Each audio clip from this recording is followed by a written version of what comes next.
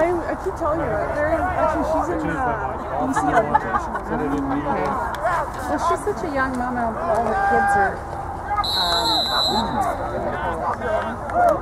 Mine's still